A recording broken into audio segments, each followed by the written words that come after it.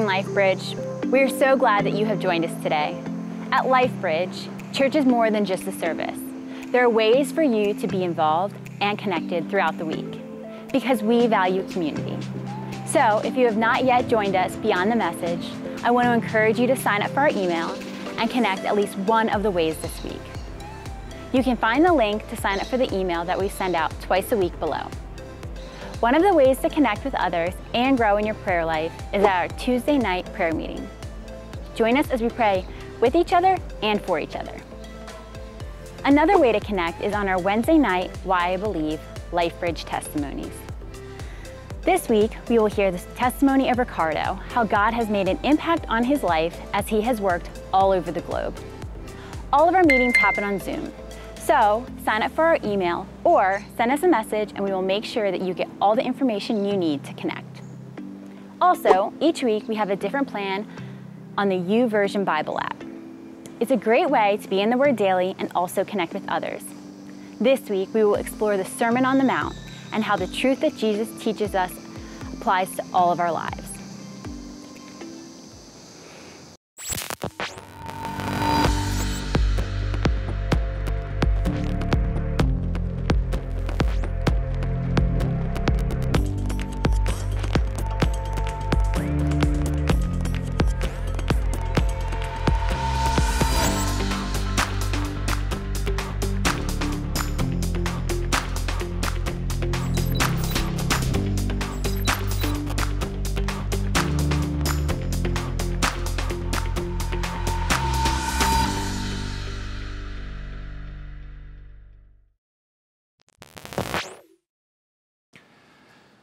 Just this past week, my wife Jendi said to me, We need to go through the closet in the guest bedroom.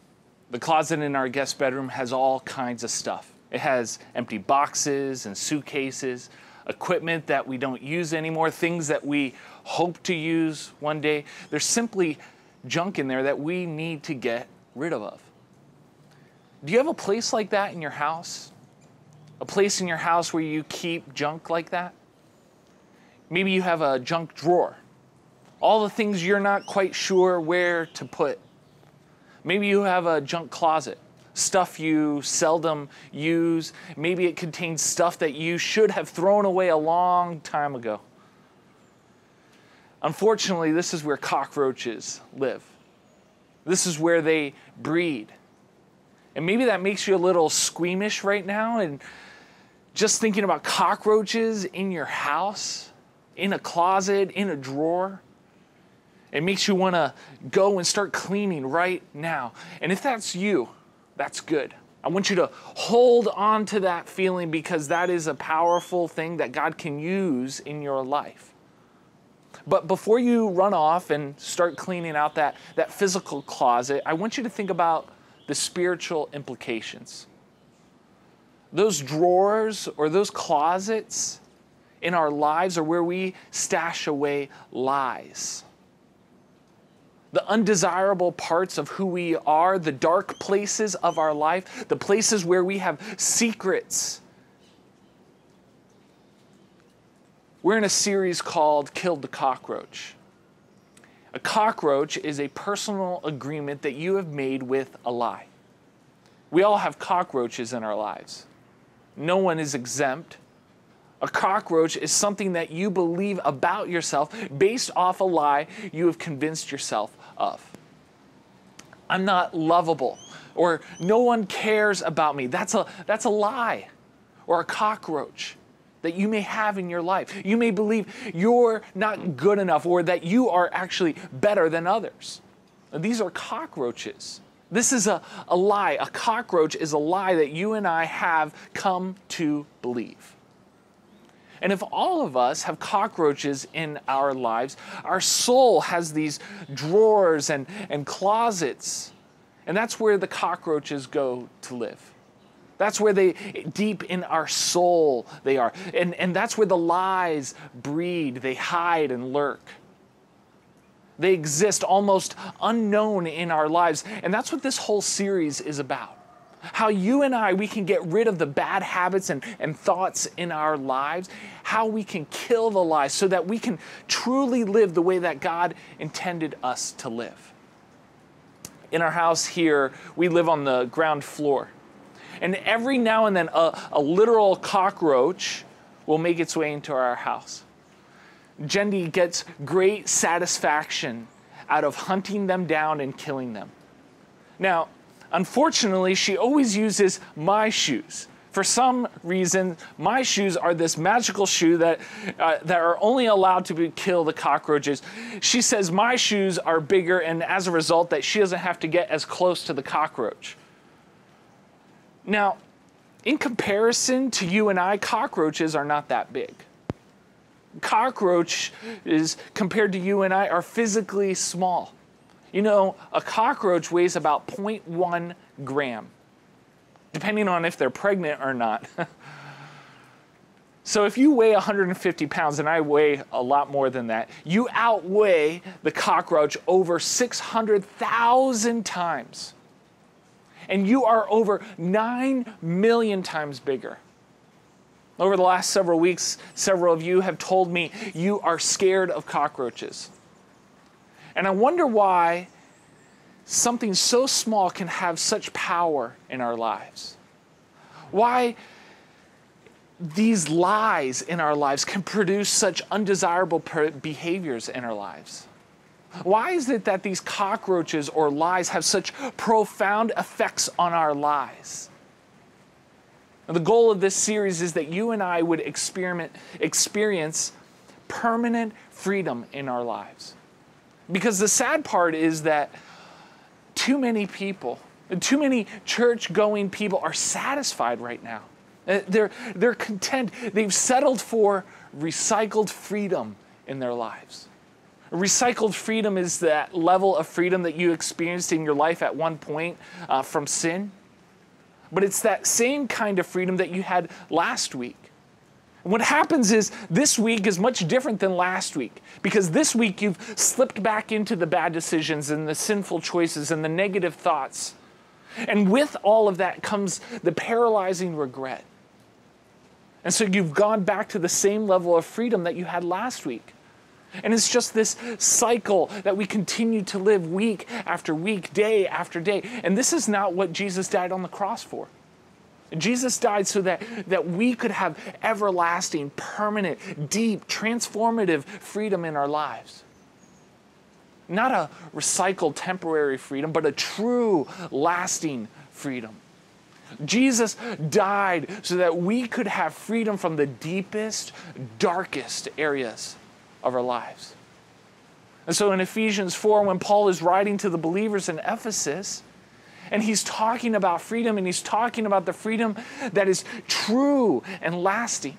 A freedom that can exist in, in every closet and drawer in our lives, not just the places that everyone sees, not just in the kitchen and in the living room, but every single place. Jesus came and died to give us true freedom in the deepest, darkest places of life. And this is what Paul says to the believers in Ephesians 4 live no longer as the Gentiles do, for they are hopelessly confused. Their minds are full of darkness. They wander far from the life God gives them because they have closed their minds and hardened their hearts against Him. And what Paul is doing here is he's showing us two kinds of people believers and unbelievers. And he calls the unbelievers here Gentiles. And as unbelievers, they have hardened their hearts. They have closed their minds off from God. And someone who lives apart from God says, Paul says that they are living confused or they are living useless lives because their mind is full of darkness. And, and this is what cockroaches do in our lives. Cockroaches create separation.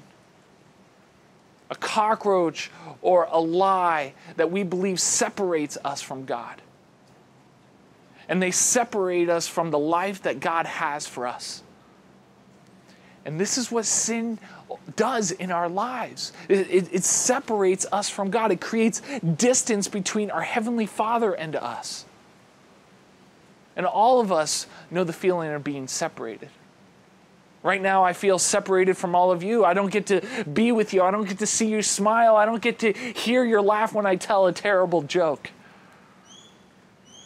The pandemic has, has physically separated the world. And maybe right now you feel distant or separated from the rest of the world because our country is in lockdown.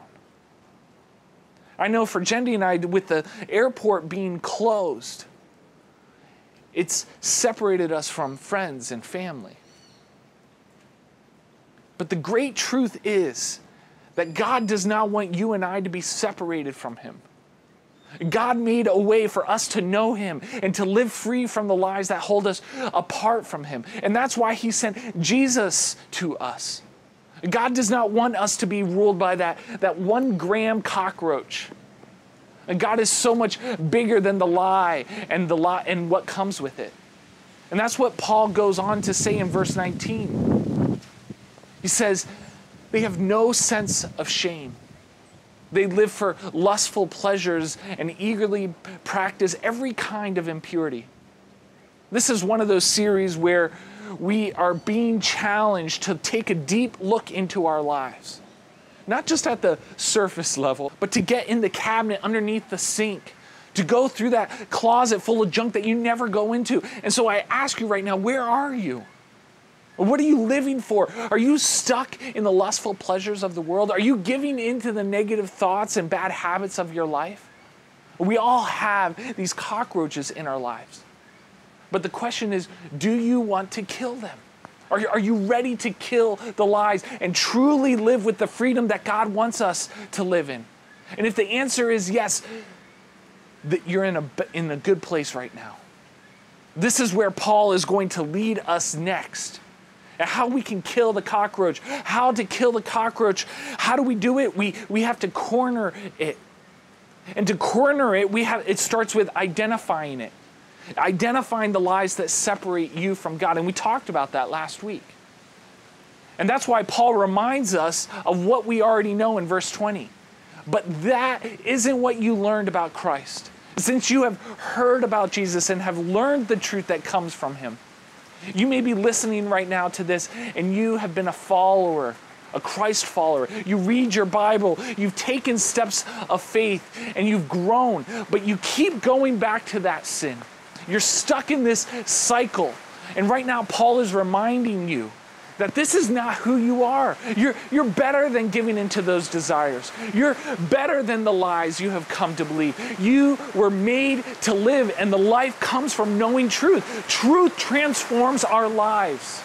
And the truth that Paul is referring to here is Jesus. And Jesus gives us freedom in our lives. We were not meant to live lives that are caught up in sin, making us useless. You and I were designed to live in the truth, making ourselves purposeful. It's raining right now, but I'm going to keep going. So then, how do we live like that? Paul tells us this is what we do in verse 22. He says, Throw off your old sinful nature and your former way of life, which is corrupted by lust and deception.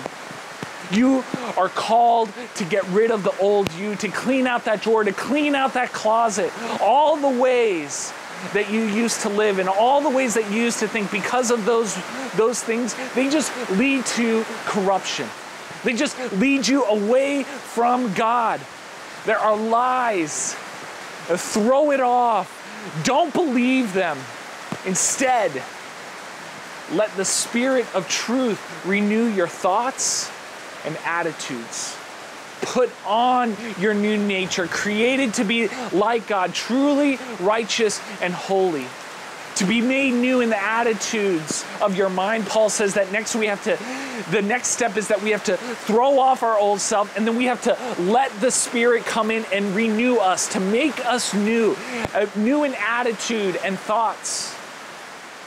Listen, when we start moving things around in our junk drawers and in our closets, this is when we reveal the cockroaches. This is when we begin to, to corner the lies and defeat the lies. Cockroaches are revealed in light. if we have the courage to, to shine the light of truth in those dark areas of our lives, this is going to disturb the cockroaches. And this is what happens when we shine light. This is when we shine truth on cockroaches, lies. They begin to run away. You know, when you're in that closet looking for something, or you're under the sink grabbing a new sponge, and suddenly behind the bottle or in that hard to reach area, there it is a cockroach. And it reveals itself in it and it runs away. And so Paul tells us throw off the old self by shining light, shining truth on the lies. So when that little lie of you're not good enough or you're not important reveals itself in your life, you shine truth on it. Psalm 139, you are fearfully and wonderfully made. Ephesians 2:10, you are God's masterpiece. And when that lie of comes in that you need that thing or you need that person in your life to be satisfied, shine truth on that lie. John 6:35 said Jesus said, "I am the bread of life. Whoever comes to me will never be hungry again." Psalms 107:9, "For only God can truly satisfy the soul. He fills it with good things."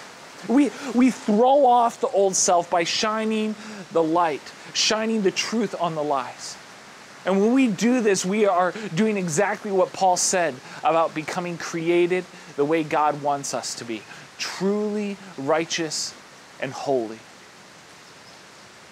We corner the cockroaches when we begin thinking not just new thoughts, but true thoughts. Again, truth is what transforms our lives.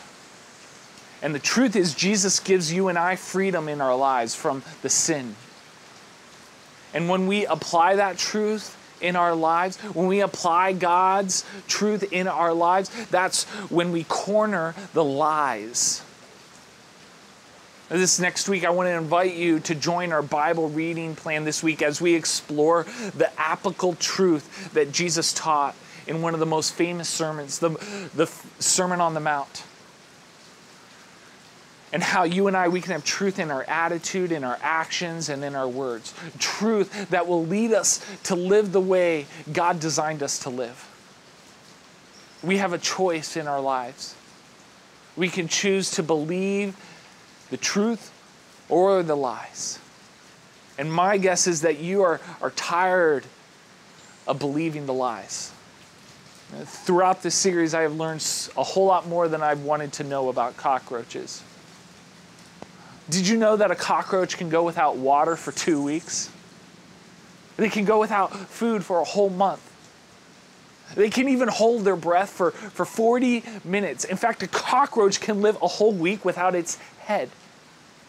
When we compare this to the reality of the lies in our lives, we believe we have controlled the cockroach. We believe we have controlled the lies in our lives. But but every two weeks or, or maybe once a month, that lie reveals itself in our lives and we give into its destruction and it wreaks havoc in our lives and it drives us into bad habits and negative thoughts and it creates separation between you and God. And then we get to that place and we say, How did I get here? How did this happen? like I, I'm, I'm so deep in this. Again i don't know how this happened. I thought this was all over. I but all we did is we cornered it. We, we, we spotted it. We may have shined light on it but all we did was corner it. We tried to drown it. We tried to starve it by, by not going back to it for a couple weeks.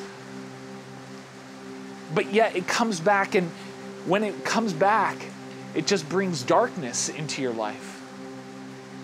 Friends, I don't want you to miss next week because next week we talk about after we have cornered the cockroach, how do we ultimately kill the cockroach? But today we have to continue the hard work. We have to continue cleaning out the junk in our lives, shining light on the lives. Corner the cockroach and allow the Spirit of truth to come in and transform your lives. cockroaches in our lives are going to die slowly. They're not going to die quickly. Transformation is not going to happen overnight. That lie that you believed will require you combating it with truth time and time again, day after day. You need consistent and extended effort. We have to stay focused on God's truth and daily apply it to our lives because truth transforms. Truth leads us to freedom. This is how we kill the lies. This is how we kill the cockroach. Father God, I thank you for what you're doing in people's lives right now. That as we begin to identify the lies and corner the lies, God, I pray that we would continue to have the courage to seek out those lies in our lives. God, give us, give us truth, give us uh, endurance to continue pressing on to, to, to capture these cockroaches and ultimately to kill these cockroaches. God, I thank you that, that you are, are with us right now. Give us, continue to give us truth and, and endurance through this time. And I pray all these things in your precious name. Amen. We are so glad that you joined us today. Our church lobby time is starting right now, and we would love to see you connect. Follow the link below. Also, below you will find the recommended worship songs that go with today's message. Remember, you can continue to give online through our website, lifebridgeic.com slash give. Thank you for your generosity. At LifeBridge, our mission is to make heaven more crowded, and we do that by bridging lives to Christ. And we would be honored if you would join us in that mission by liking this video and sharing it with friends and family. See you soon.